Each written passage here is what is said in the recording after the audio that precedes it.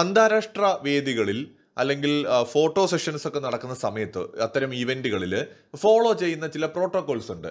ചില കീഴ്വഴക്കങ്ങൾ എന്ന് വേണമെങ്കിൽ പറയാം. അതായത് എപ്പോഴും ഫ്രണ്ട് റോയിൽ നമ്മൾ നോക്കിക്കഴിഞ്ഞാൽ സാധാരണ രീതിയിൽ ഈ രാജാക്കന്മാർ ഒരു രാജ്യത്തിന്റെ ഏറ്റവും ഉന്നത പദവിയായ പ്രസിഡന്റ് പദവി പോലുള്ള പദവികൾ വഹിക്കുന്ന നേതാക്കന്മാർ ഒക്കെ ആയിരിക്കും ഉണ്ടാവുക.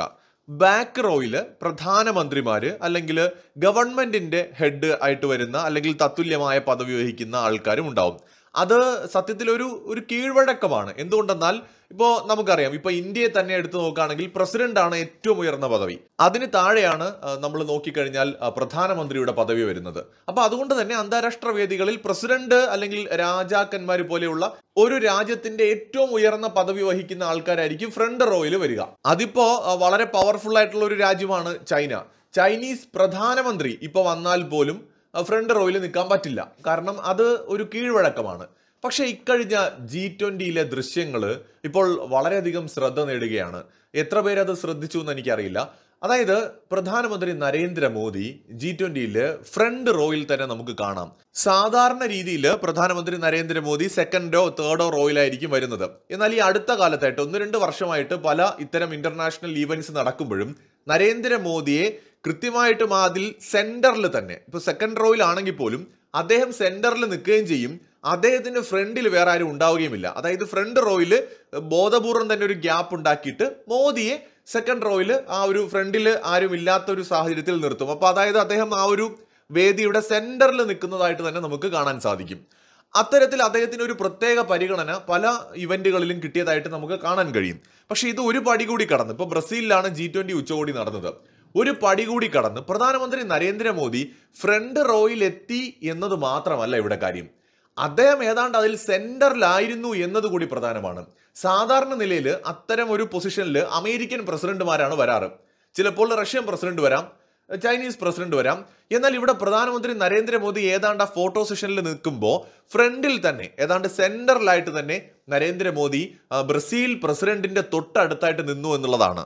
ഇവിടെ വളരെ വ്യക്തമായി നമുക്ക് കാണാൻ കഴിയും. അതായത് ഈ നമ്മുടെ ബ്രിക്സ് രാജ്യങ്ങൾ ഡോമിനേറ്റ് ചെയ്ത് നിൽക്കുന്ന ഒരു ഫ്രണ്ട് റോയാണ് നമ്മൾ ഇവിടെ കാണുന്നത്. ഉച്ചകോടിക്ക് ആതിഥേയത്വം വഹിക്കുന്ന ബ്രസീൽ പ്രസിഡന്റ് നരേന്ദ്രമോദിക്കൊപ്പം സെന്ററിൽ തന്നെയുണ്ട്. അദ്ദേഹത്തിന് തൊട്ടടുത്തായിട്ട് മോദി അദ്ദേഹത്തിന്റെ ഒരു വശത്ത് സൗത്ത് ആഫ്രിക്കയുടെ ഭരണാധികാരി അദ്ദേഹത്തിന്റെ തൊട്ടടുത്ത് ചൈനീസ് പ്രസിഡന്റ് പിന്നെ ഓസ്ട്രേലിയൻ പ്രധാനമന്ത്രി അങ്ങനെ ആ ഒരു നിര നീണ്ടു പോകുന്നത് കാണാം. ഇവിടെ മോദിയുടെ അടുത്തായിട്ട് എർദോഗനെ കാണാം. അതോടൊപ്പം തന്നെ മറ്റ് നേതാക്കളെയും കാണാം. ഇവിടെ വളരെ വ്യക്തമായി നമുക്ക് കാണാം അമേരിക്കൻ പ്രസിഡന്റ് ജോ ബൈഡൻ ഇല്ല. അദ്ദേഹം ഇവിടെ മിസ്സിംഗ് ആണ്. രണ്ടാമത് കനേഡിയൻ പ്രൈം മിനിസ്റ്റർ ജസ്റ്റിൻ ട്രൂഡോയും ഇല്ല. ജോർജിയ മെലോനിയും ഇല്ല. അപ്പോൾ ഇതിൽ എന്തുകൊണ്ട് ഇവരില്ല എന്ന് ചോദിച്ചാൽ ഈ ഫോട്ടോ സെഷൻ നടക്കുമ്പോൾ അതിൽ എത്താനായിട്ട് പങ്കെടുക്കുന്നതിലേക്ക് അവർ കുറച്ച് വൈകിപ്പോയി.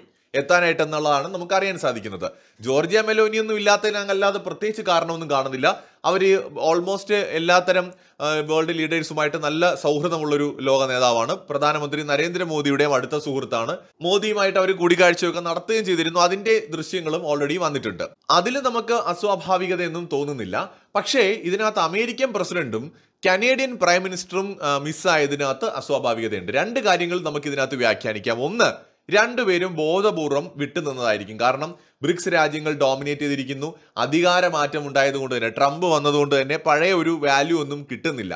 എന്നാലും മോദിയും ബൈഡനും തമ്മിൽ നല്ല രീതിയിൽ സൗഹാർദ്ദപരമായിട്ട് സംസാരിക്കുന്ന ദൃശ്യങ്ങളൊക്കെ വന്നിട്ടുണ്ട്. പക്ഷേ എന്നിരുന്നാലും ഒരു ചമ്മൽ അല്ലെങ്കിൽ ഒരു ചടപ്പുണ്ടാകാം ബൈഡന് പങ്കെടുക്കുന്നതിൽ ഒരുപക്ഷെ അതുകൊണ്ട് അദ്ദേഹം ബോധപൂർവം വിട്ടുനിന്നതാകാം അതല്ലെങ്കിൽ നമുക്ക് മനസ്സിലാക്കാൻ കഴിയുന്നത് അമേരിക്കൻ മാധ്യമങ്ങളിൽ വന്ന റിപ്പോർട്ട് അനുസരിച്ചാണെങ്കിൽ ഈ നമ്മുടെ കനേഡിയൻ പ്രൈം മിനിസ്റ്റർ ട്രൂഡോയും ബൈഡനും തമ്മിൽ കൂടിക്കാഴ്ച നടത്തുകയായിരുന്നു.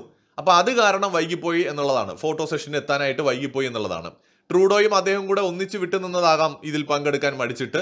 അതല്ലെന്നുണ്ടെങ്കിൽ നേരത്തെ പറഞ്ഞ പോലെ ഒരു ചർച്ച അവർ നടത്തിയിട്ടുണ്ടാകാം. കാരണം ഇന്ത്യയുടെ മുന്നിൽ ആകെ നാണം കെട്ട് നിൽക്കുകയാണ് കാനഡ.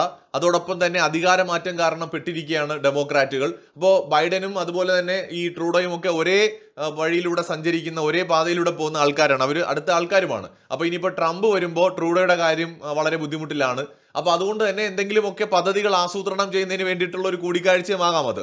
ജി ട്വന്റിയുടെ മറവിൽ നടന്നൊരു കൂടിക്കാഴ്ച. അപ്പോൾ അതെന്തോ ആയിക്കോട്ടെ എന്തായാലും ഇരുവരും ഇതിൽ പങ്കെടുത്തിട്ടില്ല. രണ്ടാമത്തെ ഒരു സാധ്യത എന്ന് പറയുന്നത് ട്രൂഡോയ്ക്കും അതുപോലെ തന്നെ ഈ അമേരിക്കൻ പ്രസിഡന്റിനുമൊന്നും ലോക നേതാക്കൾ ഇനി വലിയ വാല്യൂ കൊടുക്കുന്നില്ല എന്നുള്ളതാണ്. ഒന്നാമത് ട്രംപ് ആണ് അടുത്ത് പ്രസിഡന്റ് ആവാൻ പോകുന്നത്. ബൈഡൻ പൊതുവേ കുറെ ആൾക്കാർക്ക് ഇഷ്ടമല്ലാത്തൊരു നേതാവാണ്. സോ ബൈഡനോട് വലിയ താല്പര്യമൊന്നും ലോക നേതാക്കൾക്ക് പലർക്കും ഇല്ല പ്രത്യേകിച്ച് ബ്രിക്സ് രാജ്യങ്ങൾക്കില്ല. അപ്പൊ അതുകൊണ്ട് തന്നെ ബൈഡൻ വന്നില്ലെങ്കിൽ വേണ്ട നമുക്ക് ഫോട്ടോ എടുക്കാം എന്ന് പറഞ്ഞ് എടുത്തതുമാകാം. കാരണം ബൈഡൻ ഇനി കുറച്ച് നാളും കൂടെ ഓഫീസിലുള്ളൂ. ജാനുവരിയിൽ പുതിയ പ്രസിഡന്റായിട്ട് ട്രംപ് വരും. അപ്പോൾ പിന്നെ ആ ഇത്രയൊക്കെ മതി. എന്നുള്ള രീതിയിൽ അദ്ദേഹത്തിനെ അങ്ങ് അവഗണിച്ചതുമാകാം. എന്താണെങ്കിലും ഇവിടെ ഇൻട്രസ്റ്റിംഗ് ആയി തോന്നുന്ന രണ്ട് കാര്യങ്ങൾ. ഒന്ന് അമേരിക്കൻ പ്രസിഡന്റ് ഇല്ലാത്ത ഒരു ജി ട്വന്റി ഫോട്ടോ സെഷൻ അദ്ദേഹം വരാത്തതല്ല. അദ്ദേഹം ബ്രസീലിൽ എത്തിയ ആളാണ്. പക്ഷേ എന്നിട്ടും അദ്ദേഹം ഫോട്ടോയിലില്ല രണ്ട് ഇവിടെ ജസ്റ്റിൻ ട്രൂഡോ ഇല്ല. ജസ്റ്റിൻ ട്രൂഡോ ഇന്ത്യയുമായിട്ട് കട്ട ഉടക്കാണ് അപ്പോൾ ട്രൂഡോയും ഇതിനകത്തില്ല. അപ്പോൾ മൂന്നാമത്തെ കാര്യം പ്രധാനമന്ത്രി നരേന്ദ്രമോദി ഈ ഒരു ജി ട്വന്റി ഹോസ്റ്റ് ചെയ്യുന്ന ബ്രസീൽ പ്രസിഡന്റിന്റെ തൊട്ടടുത്ത് ഈ ഒരു ഫോട്ടോ സെഷനിൽ മധ്യഭാഗത്ത് നിൽക്കുന്നു എന്നുള്ളത് മാത്രമല്ല ഫ്രണ്ട് റോയിലാണ് നിൽക്കുന്നത് എന്നുള്ളതും എടുത്തു പറയേണ്ടതാണ്. സാധാരണ രീതിയിൽ അങ്ങനെ ഒരു കീഴ്വഴക്കമില്ല. അപ്പോൾ ഇത് ഒരു മാറ്റത്തിന്റെ തുടക്കമാണ്. അതായത് സാധാരണ ഈ പ്രസിഡന്റ് മുമ്പിൽ വരണം മറ്റുള്ള പ്രധാനമന്ത്രി പുറകിൽ എന്നുള്ള കാഴ്ചപ്പാടുകൾ ലോകത്ത് മാറിയിരിക്കുന്നു. അല്ലെങ്കിൽ അത്തരം ഒരു മാറ്റം കൊണ്ടുവരുന്നതിൽ മോദി വിജയിച്ചു എന്ന് വേണം പറയാൻ. കാരണം ഇതിനകത്ത് ഇന്ത്യൻ പ്രധാനമന്ത്രി വളരെ സ്ട്രോങ് ആയിട്ടുള്ള വേൾഡിലെ തന്നെ one of the most powerful person ആണ്. അദ്ദേഹം ഏതൊരു പവർഫുൾ ആയിട്ടുള്ള ലോക നേതാക്കളുടെ പട്ടിക എടുത്താലും ആദ്യ അഞ്ചിൽ ഒരാൾ നരേന്ദ്രമോദിയാണ്. അത്രയും പവർഫുൾ ആയിട്ടുള്ള ഒരു ലോക നേതാവിനെ ഒരിക്കലും ഈ പറയുന്ന ഇത്തരം അന്താരാഷ്ട്ര വേദികളിൽ സെക്കൻഡ് റോയിലേക്ക് തള്ളിവിടാൻ ഒരിക്കലും ഈ കീഴ്വഴക്കങ്ങളുടെ പേരിൽ ലോക നേതാക്കൾക്ക് കഴിയുന്നില്ല. സോ അതുകൊണ്ട് തന്നെ അത്തരം കീഴ്വഴക്കങ്ങൾ മാറുന്നു എന്നതാണ് ഇതിൽ നിന്ന് നമുക്ക് മനസ്സിലാക്കാൻ കഴിയുന്നത്. മറ്റൊരു വീഡിയോയുമായി വീണ്ടും കാണാം.